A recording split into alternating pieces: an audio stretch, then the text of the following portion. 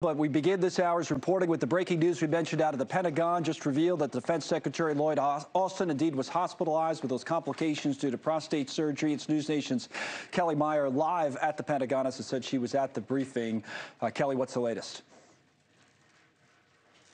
Yeah, Connell, uh, you know, you were mentioning that we got some more answers. It kind of solved the mystery as to what exactly uh, Secretary, Secretary Lloyd Austin was hospitalized for, what he had that, what they called elective procedure for. But it almost leaves now more questions as to why the Secretary of Defense didn't inform uh, many of those around him here at the Pentagon and the Commander in Chief himself as to his diagnosis for prostate cancer, which he had in early December, which he learned of that in early December. And it wasn't clear that it was relayed to much of anybody here at the Pentagon, including the Pentagon press secretary himself coming out to the podium here today.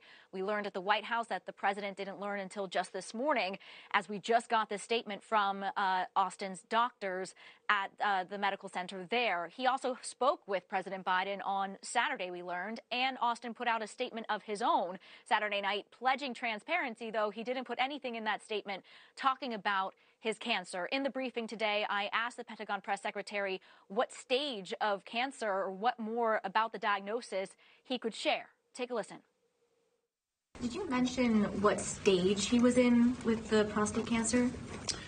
Um, I'd, I'd, refer you back to the statement here. Um,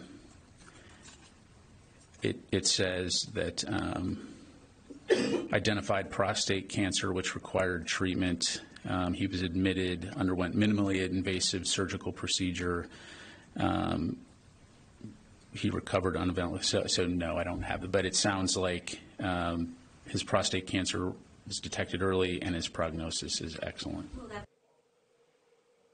And they're saying that that was a minimally invasive surgical procedure. They called this an elective surgery when they first mentioned this in the release on Friday night that the Pentagon press corps had received, including myself. There were a lot of questions today as to why that was referred to as an elective procedure when it had to do with cancer. And there were several questions that the Pentagon press secretary just couldn't answer, referring to this review that they're going to do in terms of the uh, how they learned of this information and the transparency uh, that evolved or devolved in that process and just how they could fix it going forward. But again, a lot we still don't know and almost more questions are arising at this hour than we have before. Well, speaking of um, questions, I just want to be clear on one thing myself, Kelly, if I can, because um, we did not carry the White House briefing that I believe you were referring to live, even though we covered the Pentagon briefing live. We saw how uh, General Ryder handled some of those questions, but I believe it was John Kirby, right, who spoke about President Biden's timeline. So when you say he found out this morning, you mean about the prostate cancer, right? He already knew he was in the hospital. Is that what they're saying? He didn't know he had prostate cancer until this morning?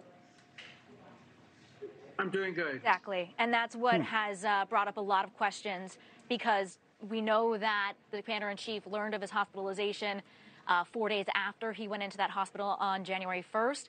Why wasn't it brought up then? Then the two spoke on Saturday. Why wasn't it brought up then? And then it wasn't until just this morning when that statement was released from Austin's doctors that John Kirby says the president learned about that. And even Kirby himself in the briefing saying that wasn't optimal the way that they learned about this and the way that Secretary Austin went about this. And another question out of this briefing here today was or does Secretary Austin plan on resigning? And the right. answer from the Pentagon press secretary is no, he doesn't plan on resigning. Okay, so still in the hospital, recovering, now in recovery, no plans on resigning or anything like that. The president found out about the diagnosis this morning. It's it's quite a story, still developing. As you say, we still have questions. Kelly, thank you. Uh, Kelly Meyer covering it all live from the, uh, the Pentagon. Thanks so much for watching. Just go to joinnn.com to find News Nation on your television provider. And don't forget to click the red subscribe button below to get more of News Nation's fact driven, unbiased coverage.